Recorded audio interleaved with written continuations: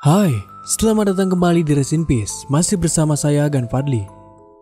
Di episode spesial penampakan kali ini, kita akan bahas tentang 5 video penampakan yang tertangkap kamera bagian ke-13. Sebelum menonton video ini, silahkan tekan tombol subscribe dan jangan lupa untuk menyalakan notifikasinya agar mendapatkan update video horor terbaru dari channel Rest in Peace.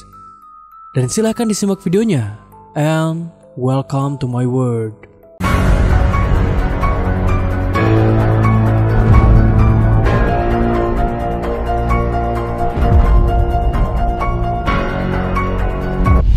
Yang pertama penampakan di dalam kereta.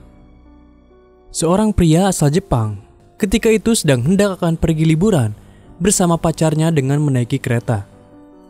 Dan si pria ini mendokumentasikan perjalanan mereka. Awalnya tidak ada yang aneh dengan video ini. Namun kejadian aneh terjadi pada saat kereta ini melewati sebuah stasiun dan masuk ke dalam sebuah terowongan.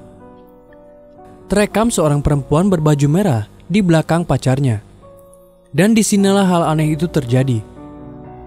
Ternyata setelah diselidiki, perempuan berbaju merah tersebut ada di antara kerumunan orang di stasiun. Padahal ketika itu, kereta yang mereka tumpangi tidak berhenti di stasiun itu. Lantas bagaimana perempuan berbaju merah itu bisa naik ke dalam kereta?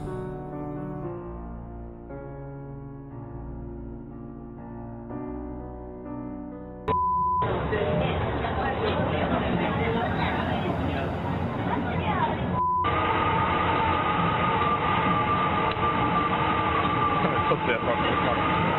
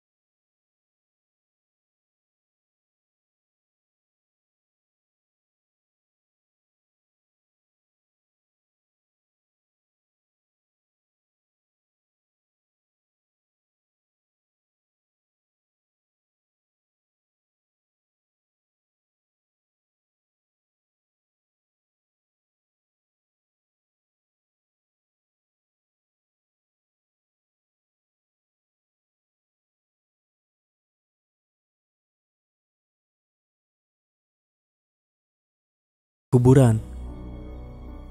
Salah satu acara TV di Michigan yang bernama Michigan Paranormal Reality Series menemukan sosok penampakan di kuburan.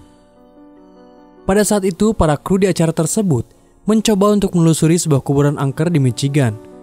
Dan tidak berapa lama, terekam sosok penampakan anak kecil. Dan dia berteriak memanggil mamanya. Kemudian ketika anak itu dipanggil oleh pembawa acaranya, Anak itu menoleh dengan tatapan menyeramkan dan mata yang menyala. Dan kira-kira, apakah sosok tersebut hantu asli atau seorang anak kecil biasa? Silahkan beri komentar di bawah.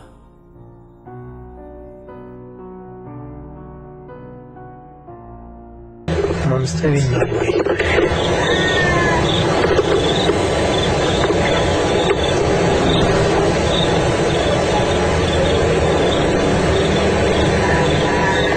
No seas idiota.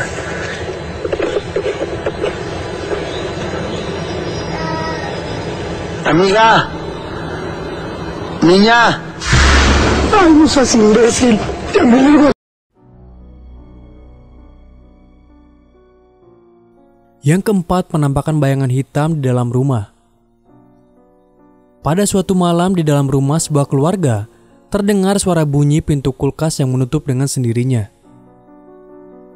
Lantas pria yang memakai baju hitam ini memeriksa ke dapur dan mengecek ke bagian pintu kulkas itu. Namun ketika itu, dia tidak menemukan hal aneh apa pun. Sampai tidak berapa lama, sebuah pintu lemari yang berada di dekat pria itu menutup dengan sendirinya. Dia pun merasa heran dan kebingungan dengan kejadian tersebut. Kemudian hal yang paling menyeramkannya adalah pada saat pria ini membalikan badannya dan akan kembali ke ruang keluarga, ketika itu terekap sebuah sosok bayangan hitam di pojok ruangan.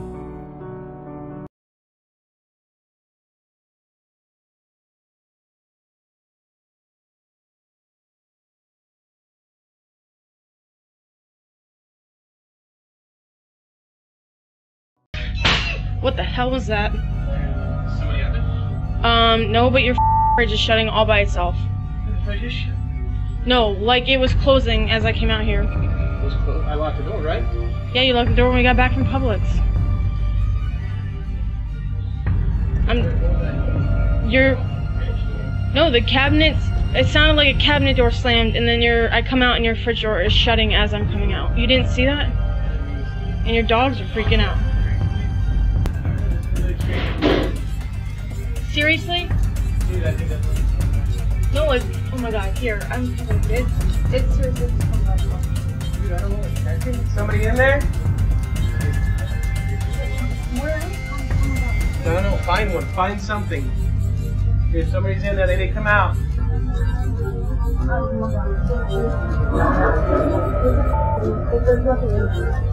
don't know what. Yeah, we need to get the out of here. Seriously, oh my god.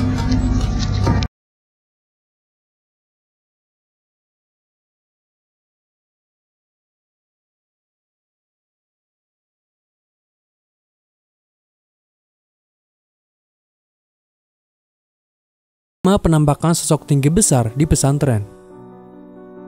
Video kali ini memperlihatkan sebuah dokumentasi menjelang kepergian pemilik salah satu pesantren yang ada di Sukabumi, yang ketika itu akan berangkat ke Tanah Suci.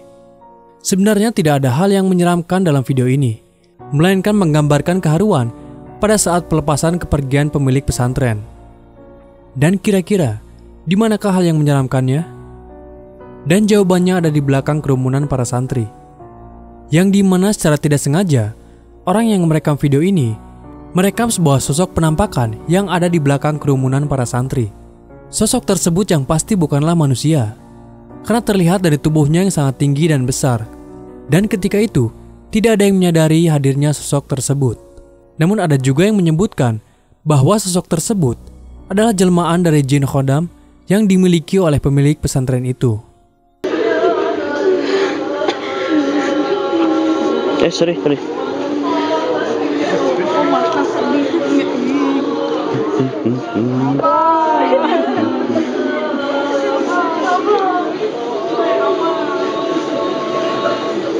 لا إله إلا الله.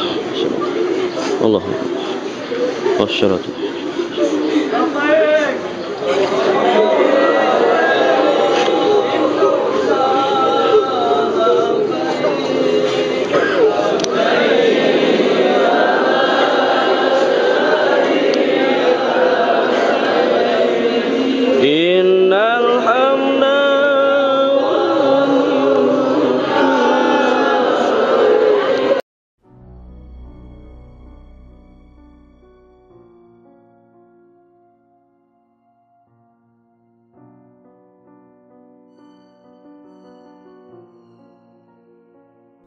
Dan itulah pembahasan tentang 5 video penampakan yang tertangkap kamera bagian ke-13. Jangan lupa untuk like and share jika Ganansista suka dengan video ini. Tonton juga video-video horor lainnya di channel Rest in Peace. Sampai jumpa di episode berikutnya dan selamat bermimpi buruk.